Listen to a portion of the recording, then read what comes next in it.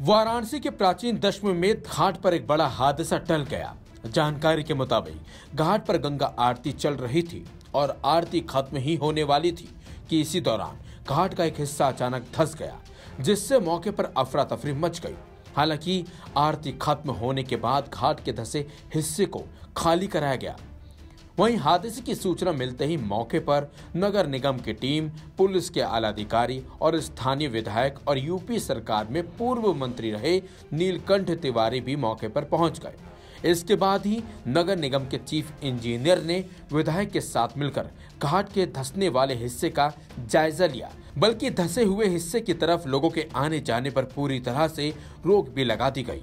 यहाँ के जोनल अधिकारी, पुलिस विभाग के लोग, सभी लोग यहाँ पर अधिकारी आए हुए हैं और इसको देखा जा रहा है कि क्या कारण है इसके धंसने का।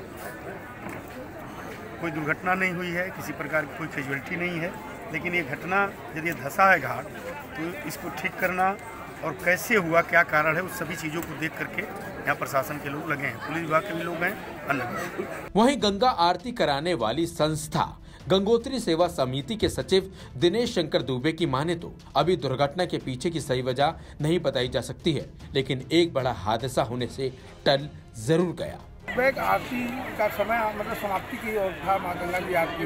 और ये आखिरी पटरा जहाँ आखिरी अर्जत करते हैं पांचवी आरती इसी के कॉर्नर पे ज़मीन एक बैग धस गई। ये कहिए गनीमत था कि कोई भी श्रद्धालु वो खरोज तक नहीं आया। खैर, उस समय घाट पे पर्याप्त मात्रा में भीड़ थी और लेकिन समय रहते लोगों को हटा दिया गया, सुरक्षित कर दिया गया और ये आठ बाई दस का हिस्सा एक बैग धस गया जिस वक्त ये हादसा हुआ, उस समय घाट पर काफ़ी भीड़ थी, लेकिन गनीमत ये रही कि स्थिति को समय रहते संभाल लिया गया। नहीं तो कोई बड़ा हादसा हो सकता था और कई लोगों की जान भी जा भी सकती थी।